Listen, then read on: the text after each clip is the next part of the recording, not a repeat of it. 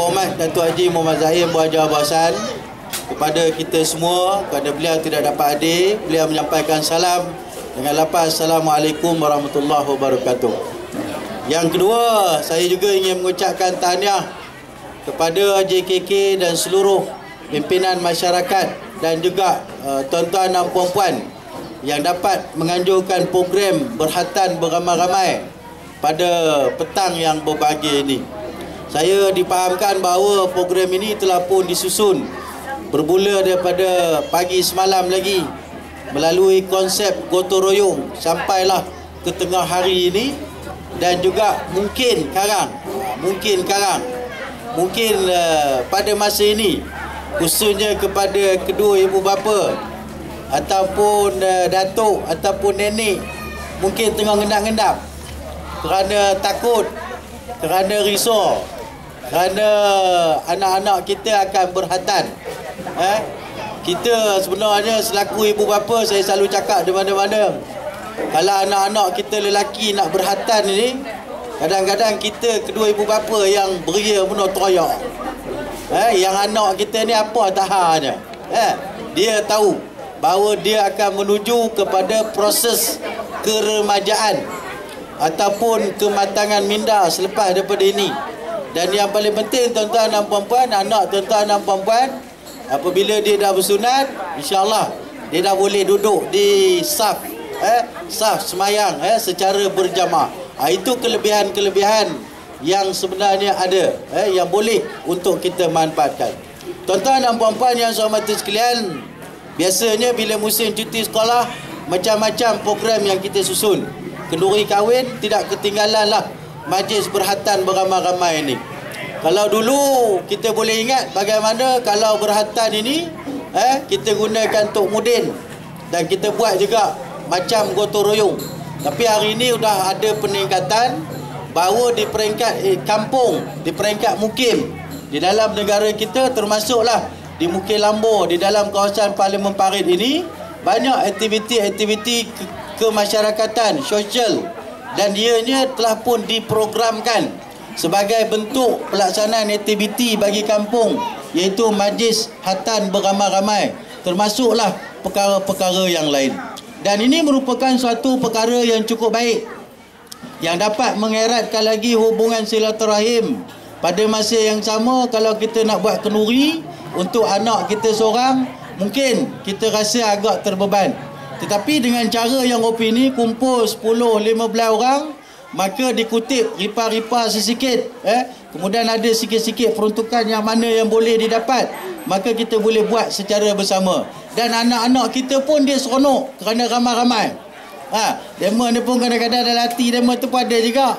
Ha dia tengok kawan kamu toyok ke tak karang katanya ha karang pun dia mengecek juga siapa yang yang apa nama yang yang teroyok berdengung-dengung ha sebagainya tapi tu cari tahu tuan-tuan dan puan-puan Hari ini berhatan Hari ini sudah ada teknologi kemajuan-kemajuan tertentu Khususnya di segi perubatan eh? Kerana tak ada macam dulu Kalau dulu pakai moden duduk atas Apa nama Apa nama tu? Batang pisang ya. Jadi sekarang ni tak ada apa benda Tak ada sakit Sikit pun tak Yang paling penting saya katakan tadi Anak-anak kita ini akan uh, Menjurus kepada Kematangan diri dia Itu yang paling penting dan tuan-tuan dan puan-puan, kita pada masa yang sama, saya menyeru untuk kita jagalah. Kita berilah perhatian kepada anak-anak kita kerana anak-anak ini merupakan aset kepada negara kita. Kerana mereka akan mewarisi kepimpinan negara. Dan sudah pasti wajib untuk kita bekalkan kepada mereka nilai-nilai ilmu pengetahuan yang cukup besar untuk mereka jadikan pedoman dan boleh pula menjawab jawatan sehingga mereka mampu untuk mengolah macam kita olah buat program pada hari ini. Ha, maknanya demo dah ada pengalaman kalau hari ini kita boleh buat gotong royong bila demo dah besar besok, demo dah kahwin pula, demo ada anak, demo juga boleh merasakan ingat nostalgia demo ada dulu masa sekarang. Eh? Jadi demo juga akan ada proses bagaimana nak menjayakan program-program yang bersifat kemasyarakatan. Dan ini sebenarnya suatu perkara yang saya katakan tadi cukup baik. Apatah lagi tuan-tuan dan puan-puan, negara kita hari ini berada di dalam keadaan yang cukup hebat. Cukup baik dikenali. Walaupun semalam ada juga orang toyak. Eh, Tok Puluh Padi dia toyak kerana Malaysia di Baham, di Gajah. Ha, kalah main bola. ya, tapi itu tak kisahlah. Eh, tapi yang penting kita negara kita aman manfaatkan keamanan negara kita ini dengan kita memupuk budaya ukhuwah yang cukup kuat. Jangan kita bergaduh. Jangan kita ber berkelahi. Jangan kita bercempera. Kalau ada program-program aktiviti kampung yang menjurus kepada kebaikan, lebih ramai lagi. Tuan-tuan dan puan-puan untuk sama-sama berganding bahu di antara satu sama lain. Kerana inilah sebenarnya nilai, semangat, program ataupun aktiviti yang kita anjurkan lebih dapat mengeratkan lagi ya hubungan silaturahim dan sama-sama kita memikirkan bagaimana kita nak majukan kampung kita, daerah kita, negeri kita dan juga negara kita. Jadi tuan-tuan dan puan-puan, pada masa yang sama saya juga suka nak bagi ingatan supaya nikmat keamanan, nikmat kemakmuran nikmat segala-gala yang diberikan oleh Allah Subhanahu taala kepada kita ini jangan kita cemari dengan budaya-budaya yang tak elok dengan memburuk-burukkan kerajaan dengan mengata itu ini dan sebagainya. Walaupun tuan-tuan dan puan-puan ya kerajaan cuba sedaya upaya yang mungkin untuk bagi perkara-perkara yang baik untuk rakyat tetapi pada masa yang sama apa pula sumbang bakti kita kepada negara dan dia mestilah dimulai di peringkat kampung kita sendiri.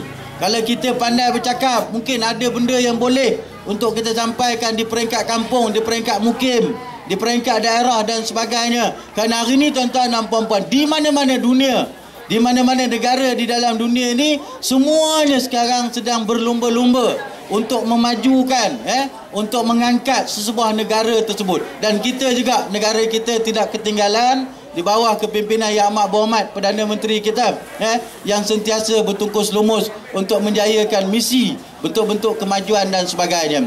Jadi tuan-tuan dan puan-puan, saya tak nak cakap panjang kerana selepas ini mungkin ada banyak lagi acaranya.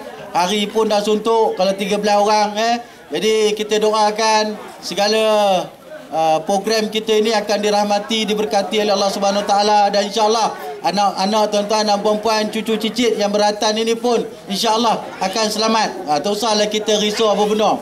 Eh, kalau tak ada nak dengar toyok ke banding tu ada. Ha, jadi boleh boleh lah ngekik-ngekik apa nama muka-muka ke bandar tu. InsyaAllah anak kita selamat dan insyaAllah mereka akan menjadi anak modal insan yang mempunyai kematangan minda dan mereka akan berbakti pada diri dia, keluarga dia, masyarakat dia, eh kampung dia dan juga akhirnya kepada negara kita. Dan insya-Allah kita akan mendapat sebuah negara yang dikendaki oleh Allah Subhanahu Wa Taala. Itu baldatun tayyibatun warabun ghafur. Negara yang baik negara yang mendapat maghfirah daripada Allah Subhanahu Wa Taala. Jadi sekali lagi saya ucap tahniah. Penghargaan kepada kuasa yang dipimpin oleh Cik Marus dan juga rakan-rakan uh, yang sama-sama menjayakan program yang cukup baik dan bermakna ini mudah-mudahan ada limpah rahmat keberkatan daripada Allah Subhanahu Wa Taala. Dengan kata-kata itu, dengan lapas bismillahirrahmanirrahim, saya dengan ini meresmikan majlis ramah mesra dan majlis berhatan beramai-ramai anjuran JKK Kampung Kucai dengan resminya. Sekian. Assalamualaikum